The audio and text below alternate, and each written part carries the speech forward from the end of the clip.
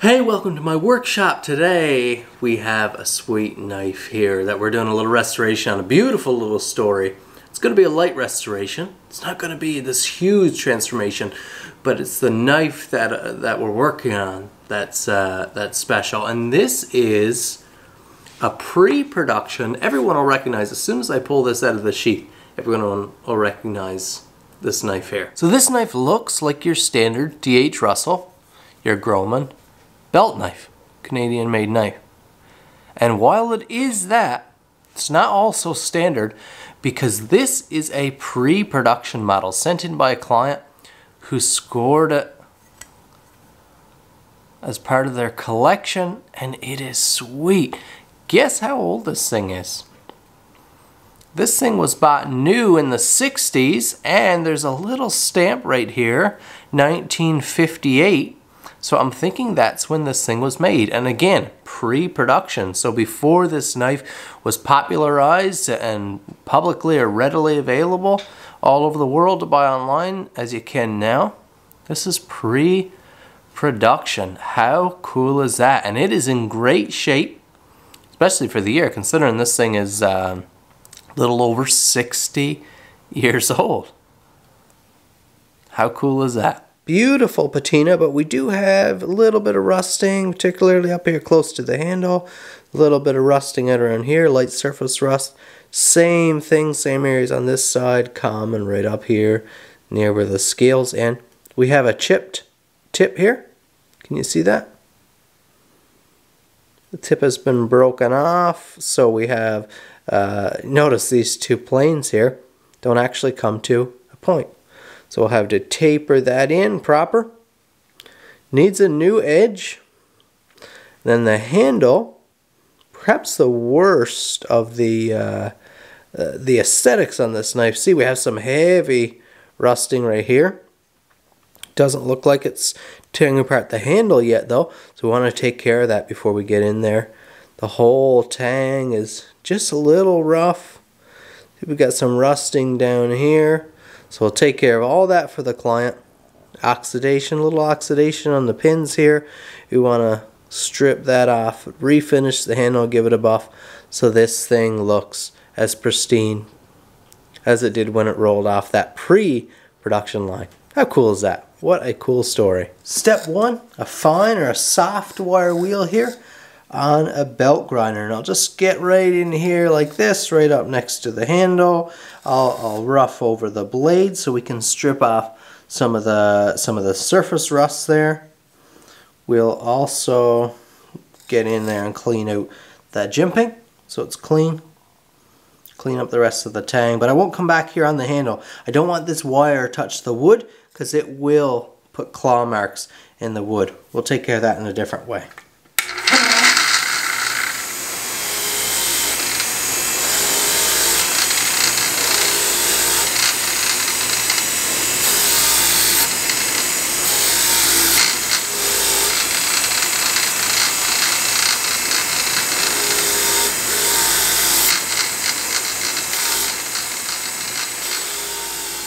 Beautiful. Look how we cleaned off, just scraped off some of that surface gunk and rust there. Everything is nice and clean. Now I'm going to take it over to my belt grinder and we'll concentrate on this tang here. Again, look at that rusting, heavy rusting right there. But around there as well, multiple other parts, some pitting along here. I want to take care of that. And how I'm going to do that You'll notice the red on this wheel here. This is a contact wheel and it's a silicone wheel. So it's like a soft rubber. It doesn't have the harshness when a belt runs over it. And that is my preferred way. We'll take this tang in. See, I just scratched that there. Look at that. We'll just strip that off right up tight to that jimping here. I'll go right up to right here, this point on the inside, and we'll have a beautifully finished tang.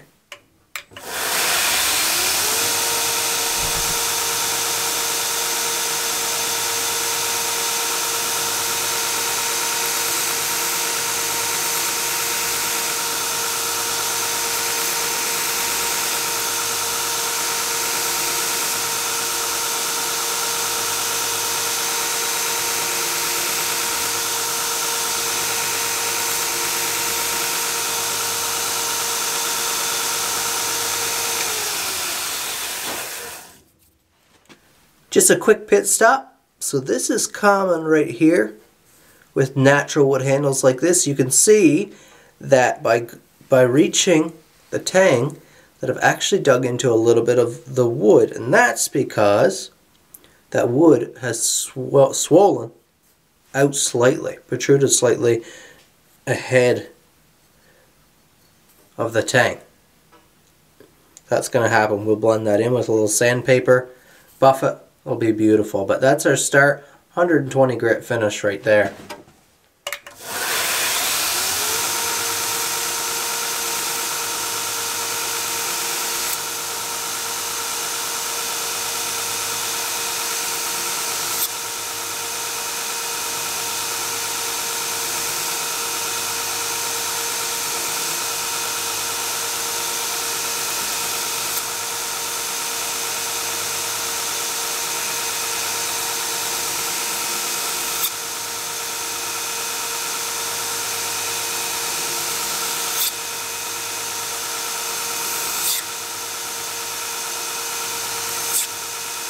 So that's a 120 grit belt there now. You can see it's got some harshness. It's not like a real smooth finish on that tang. You can see the striations in there.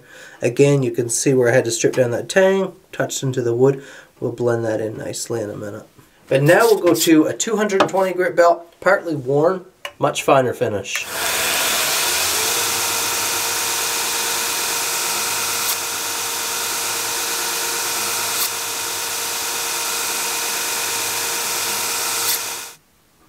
220 grit finish. Now we're under a really harsh LED light. That's actually a pretty nice finish to the eye, but still some good, good scratching in there. Now we'll go to a worn 400 grit. That'll give the finish that I want for this tang.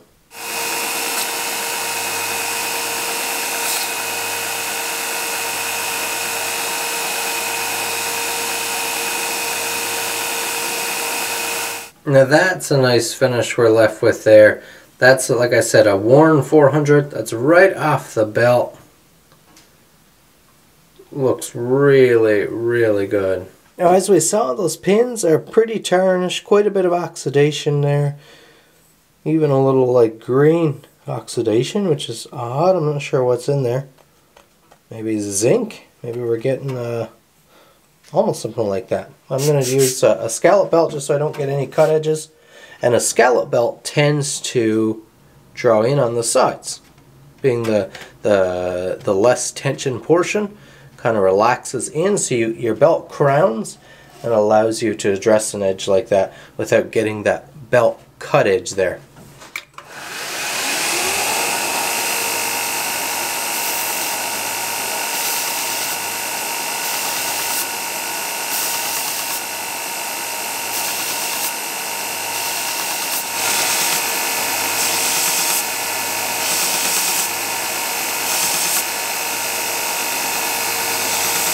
Now that I'm done with that belt, I'll go ahead and start with a little sandpaper and just start blending in all those little facets that I've created. Because I didn't fully strip this handle. Not fully refinishing it. Leaving it, trying to leave it as original as possible. But just get rid of some of the nastiness that you don't want there that that's developed over the years. Don't mind the little dents and nicks and chips in the wood and things like that. Client isn't concerned about that. But things like oxidation and stuff that will cause for further deterioration over time, we want those things gone because those things don't add to the value of the knife. They detract from it. So we'll put a nice new finish on it. Again, leaving some of the character that's developed over the years. Now let's get a buffing on there.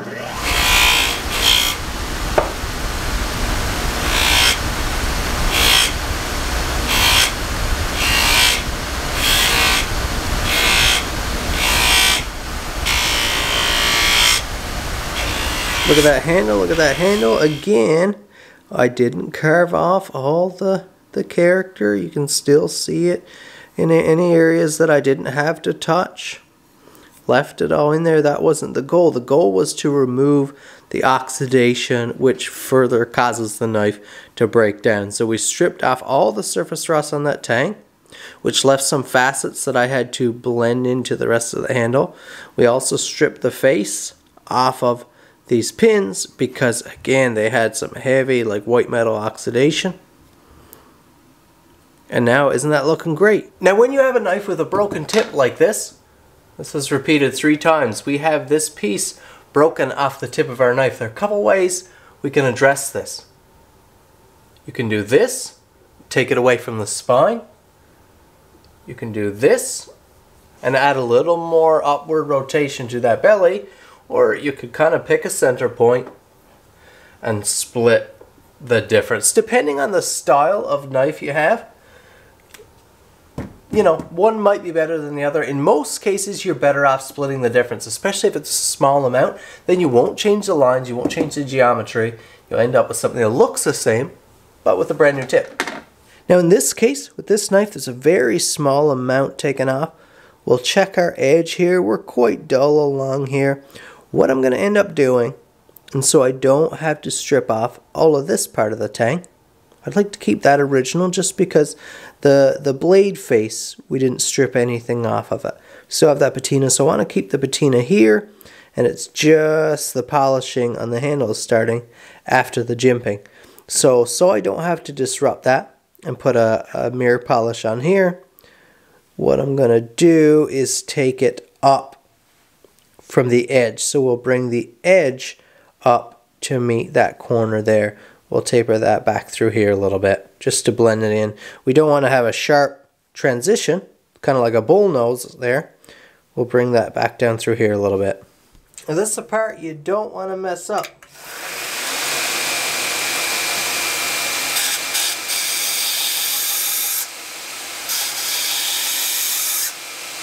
See how I'm blending that back there?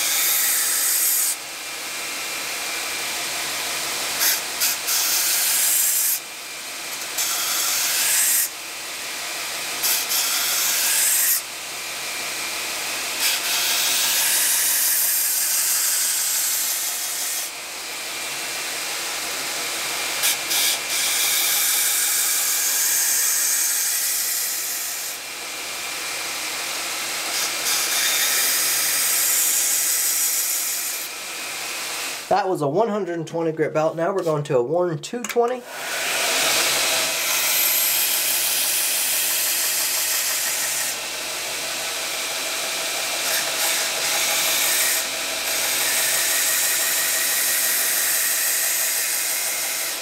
onto a 400 grit belt.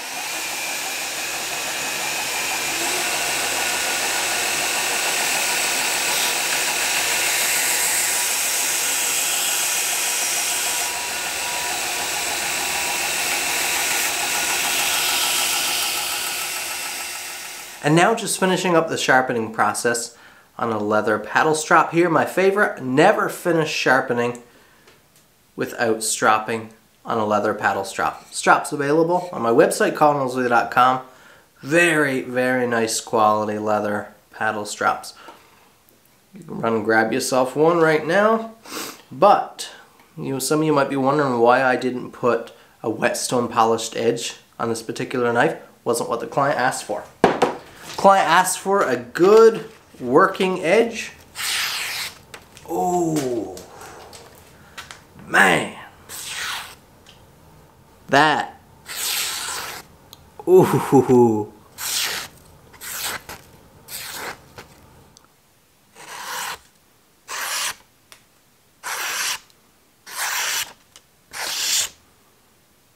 Can your edges do that?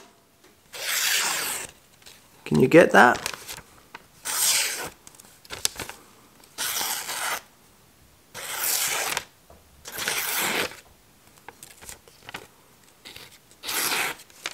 So I'm very happy with that result. I'm sure the client will be absolutely thrilled. And that is it for this light duty restoration on this piece of history. What a classic piece of Canadian steel, Canadian history.